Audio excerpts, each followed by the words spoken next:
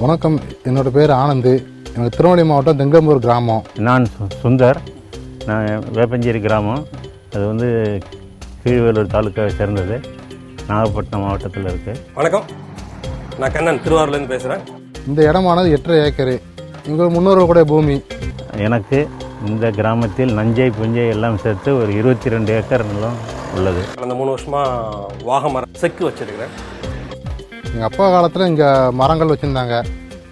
வாகை மரம் ஒரு ஆறு ஏழு மரம் இருந்துச்சு. அந்த மரம் என்னென்னா நாங்கள் யாருமே பராமரிப்பு இல்லாமல் காடு பற்றி இருக்க போய் அந்த மரம் மொத்தம் நல்லா வளர்ந்துட்டு இருந்துச்சு. வரப்பு வாய்க்கால் கரை அஹ், இந்த மாதிரி கரையெல்லாம் உள்ளதில்லை.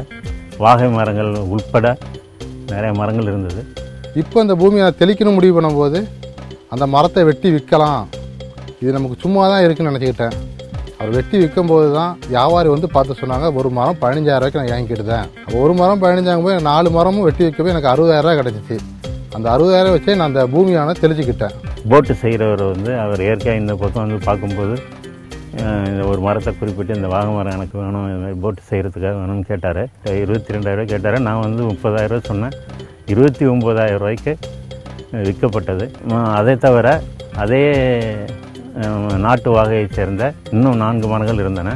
அவை பதினஞ்சு பதினாறு வருஷம் வருஷங்களாகுது அது வந்து பதினாறாயிரம் பத்தாயிரம் பதினேழாயிரம் இருபத்தி ஒன்றாயிரம் இப்படி கொடுத்துருக்கேன். அது ப அதில் உள்ள அந்த நாட்டு வகையினுடைய மதிப்பு வந்து எனக்கு அந்த போட்டுக்காரர் போட்டு செய்கிறவர் வந்து கேட்டதுக்கு அப்புறம் தான் அதனுடைய மதிப்பு எனக்கு அதிகமாக தெரிஞ்சது. இதில் உலக்கையாக இருக்கிறது நாட்டு வாகை.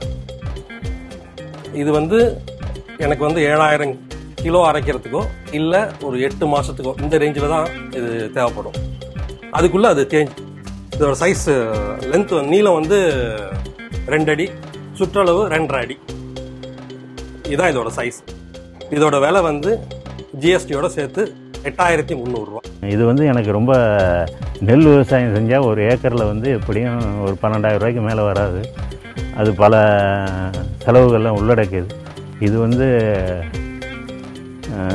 இயற்கையாக வளர்ந்து எனக்கு வந்து இயற்கையாக எனக்கு ஒரு பரிசு கொடுத்தது மாதிரி இந்த மரம் கிடைச்சிது.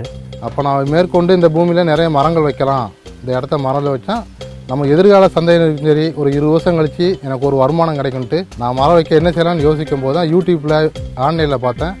ஈசாயோட காவேரி கூக்குரல் பதிவு எனக்கு தெரிஞ்சுது. ஈஷா யோக மையம் வந்து இந்த மானாவாரி மரப்பயிர் சாகுபடியை பற்றி ரொம்ப தெளிவாக ஒரு கருத்தரங்கம் நடத்தினாங்க. அதில் கலந்து கொண்டேன். இப்போ அவங்க நாட போய் எனக்கு மூன்று ரூபாய்க்கு மரக்கன்று தரேன் இருக்காங்க.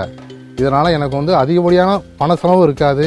எனக்கு வந்து குறைஞ்ச செலவில் அதிகப்படியான மரங்கள் வைக்க முடியும். அதுக்காக இப்போ வந்து ஒரு ஒன்றரை ஏக்கருக்கு மேலே ரெண்டு ஏக்கருக்கு குறைவாக உள்ள இடத்த ஒதுக்கி அதில் வந்து சாகுபடி பண்ண ஆரம்பிச்சிருக்கேன். மண் வகைக்கு என்னென்ன மரங்கள்லாம் வரும் நல்ல வீரியமாக வரும்னு சொன்னாங்க. எவ்வளவு தெளிவாக சொல்லிக் கொடுக்க முடியுமோ எந்தெந்த மரங்கள் ஏற்றுக்கொள்ள முடியுமோ அதெல்லாம் எனக்கு வீடியோ மூலம் காமிச்சாங்க. இந்த மரங்கள் வைக்கிறதுனால என்னோட அடுத்த சந்தையினர் என்னோட பிள்ளைகள் படிப்போ இல்லை திருமணத்துக்கோ இல்லை அடுத்த பிஸ்னஸ் செய்யறதுக்கோ எதிர்காலத்தில் ஒரு வளமான வாழ்க்கையை கொடுக்க முடியும் நம்பிக்கை எனக்கு இருக்குது பேங்க்ல ஒரு டெபாசிட் பண்ண மாதிரி மரங்கள் வந்து பராமரிப்பு இல்லாமல் நல்லா நமக்கு ஒரு ஈடு கொடுக்கும். ஈசாவின காவேரி கூக்குறலுக்கு மிக்க நன்றி. நன்றி வணக்கம்.